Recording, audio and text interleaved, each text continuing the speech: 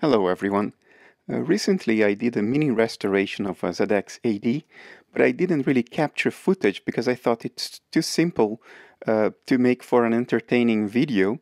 Uh, but then I published some photos uh, on social media and people started asking me what did I do, what parts did I use.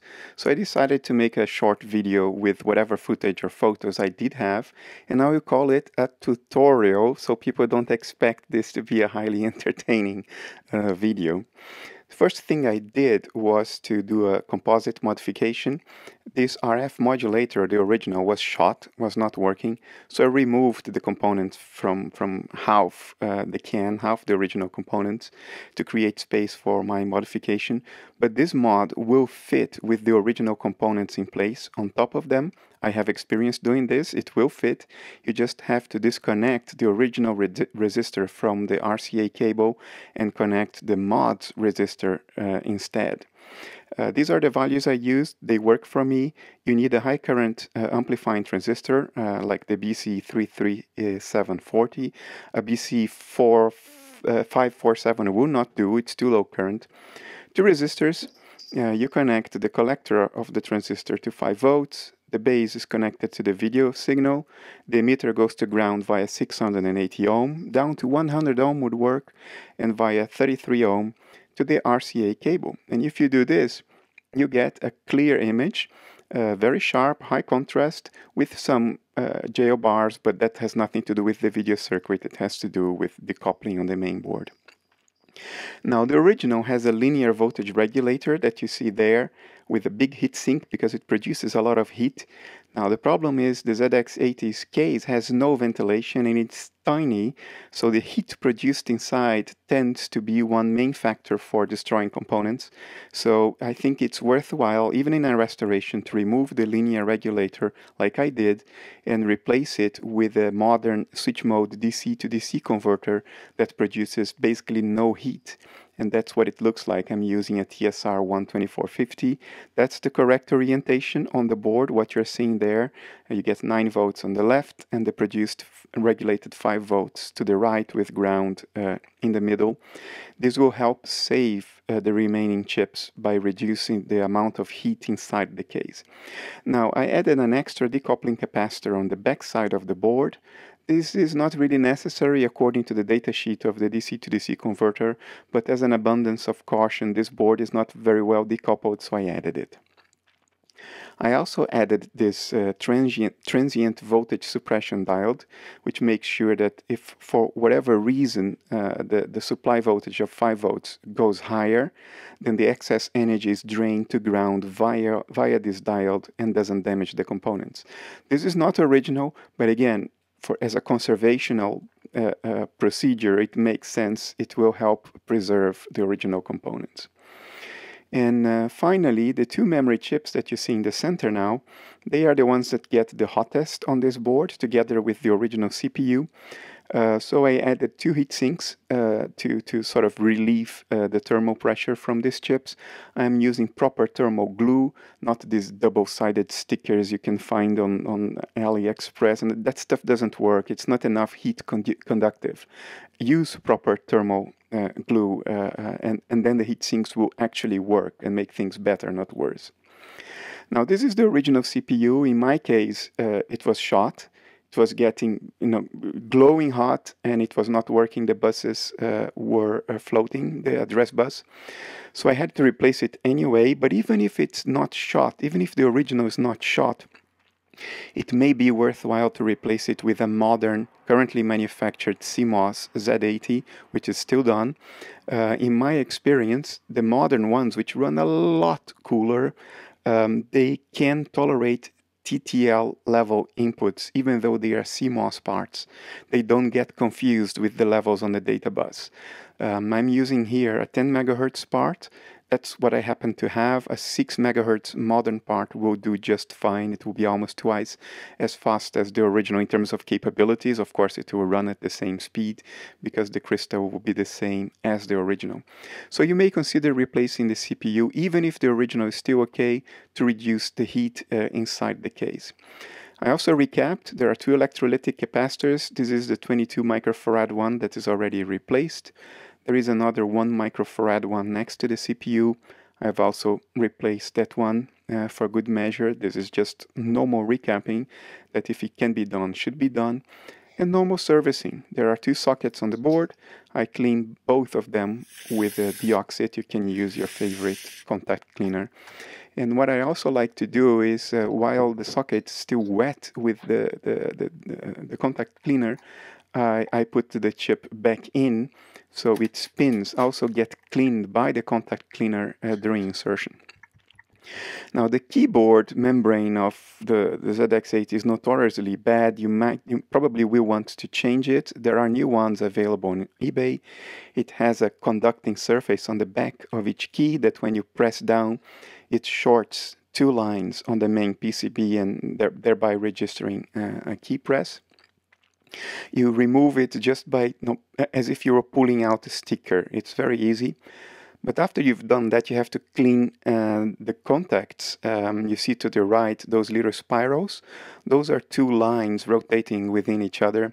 When you press a key down, you short those two lines and the CPU then registers uh, a key press. Those should be cleaned with IPA and contact cleaner as well. And if you've done all this, this is what the end result will look like. Uh, the composite mod will be hidden under the, the, the, can. There is no RF modulator there, but uh, it will work as a composite output. It will be invisible. Um, the other modifications that you can see on that corner, they are more conspicuous. You don't have that big heatsink of the original linear regulator anymore, an extra diode, extra heatsinks. But even then, they are not too conspicuous either. Everything is black, everything's tucked on a corner of the board. The computer will largely still look much like the original uh, when it comes to the PCB. And then you will get a working ZX80 producing a clear, sharp, high contrast image on your TV. Uh, that's worthwhile. But of course, you want it to look good as well. And this is what it was looking like. what it was looking like uh, originally very dirty, very yellowed. I just did the usual stuff. I washed uh, the, the, the, case in warm water and, and soap um, quite thoroughly. The case was still yellow because of you know the yellowing you get over the years. So I did a mild retro brighting with this 12% peroxide cream that you can buy on Amazon. Um, I did it for like six hours in an afternoon. I just used a, a paintbrush and put the, the cream uh, around the the case and every half an hour I would go there and maybe refresh it a little bit. No need for plastics or anything. If you put enough, it will not evaporate. Um, and it worked very nicely. It removed basically all the yellow. There is only a hint if you pay attention. After that, I soaked it in 303 uh, protectant to prevent future yellowing and to re rehydrate the plastics again. They become brittle over time, especially with retrobrighting. So 303 uh, uh, goes a long way uh, towards preserving the plastic as it looks like after uh, retrobrighting. And I finished up with Renaissance uh, microcrystalline wax that was recommended to me by Jam Hamster on Twitter. It's a wax developed by the British Museum and it cleans the plastics and gives it a very nice sheen. Um, also smells very nice. if you ask me, my girlfriend hates the smell. I really like it, and it it, it it go it, it, it makes the board really look like almost better than new or the case uh, not the board. It looks almost better than new it has a unique sheen to it. It's difficult to explain but it's it's very rewarding and gratifying. And uh, here's a side-by-side comparison and it's definitely look um, a mile or two better than the original. It will make a much better impression uh, in my collection. I didn't put all the little uh, pins again because I still have to change the ROM. The original uh, owner uh, replaced the original ROM of the ZX80 with a ZX81 ROM that uh, doesn't fit the keyboard layout. So I have to replace it with a 2732 EEPROM uh, programmed with the original uh, ZX80 ROM.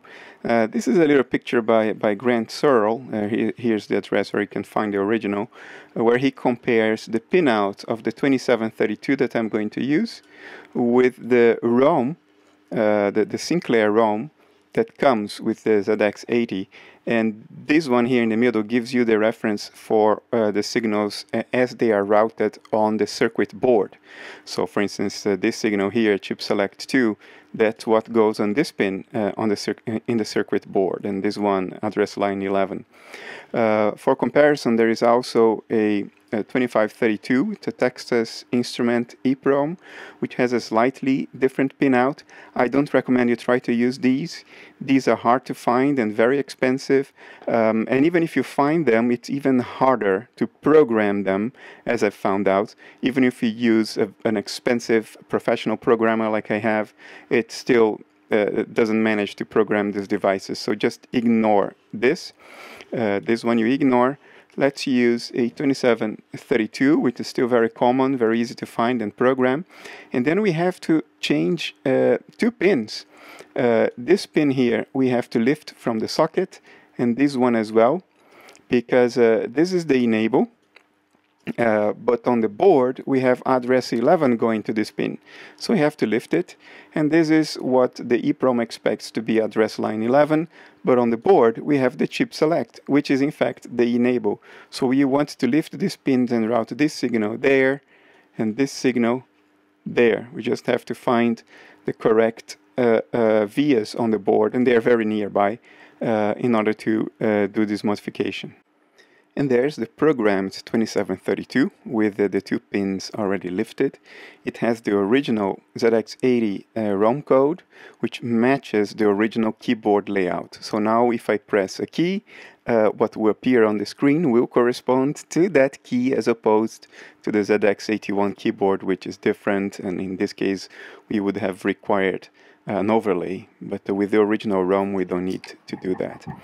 Now, just cleaning with IPA the two lifted pins because we need to do a little bit of soldering there, two bodges, adding a little bit of uh, flux paste uh, um, that doesn't need to be cleaned, not conductive. And then we just solder the wires and put a little bit of heat shrink uh, around uh, to make sure the job is properly done. And the other end we solder into the appropriate um, vias on the board. So I'm giving you some close-ups. So if you're trying to do this, you know where to connect those pins. And the result is very discreet. I used green wire and black heat shrink.